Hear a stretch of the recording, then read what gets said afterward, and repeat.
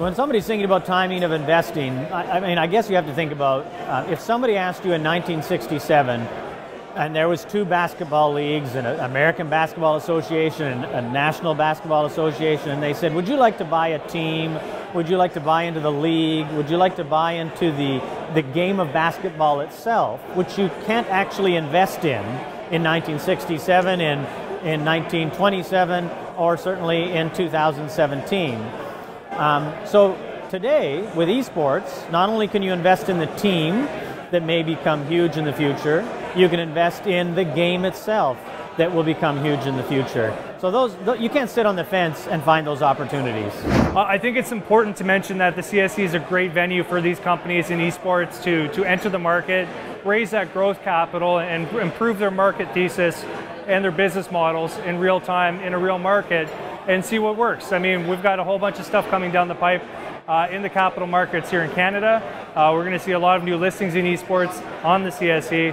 I think this is a really good time for people to take a look at esports.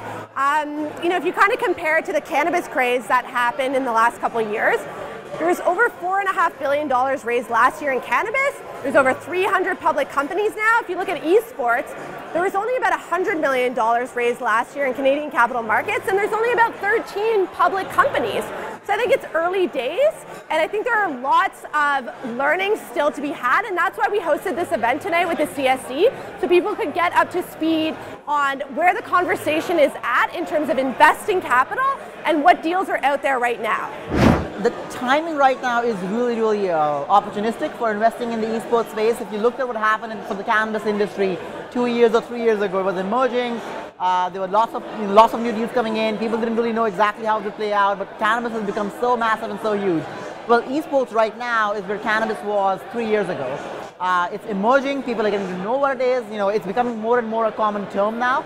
Uh, you know, what five, six years ago, who was talking about cannabis use? Nobody. Uh, three years ago, who was talking about esports use? Nobody.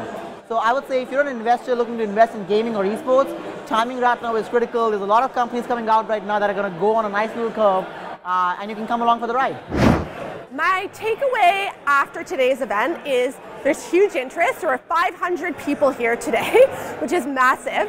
But I think we still all come away with question mark around these revenue models and these business models and how are people actually going to make a return on their investment when you know profits aren't really the main stage of the conversation yet. And so I think we're just all still learning and we just have to keep going as a group collectively.